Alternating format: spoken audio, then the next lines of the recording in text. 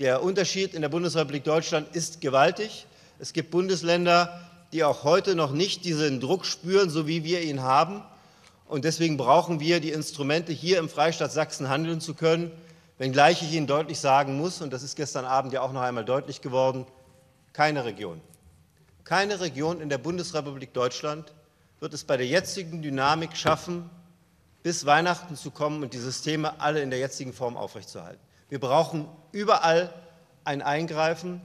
Nur wir im Freistaat Sachsen brauchen dieses Eingreifen jetzt. Und diese Koalition ist dazu bereit, einen harten und klaren Wellenbrecher äh, zu organisieren.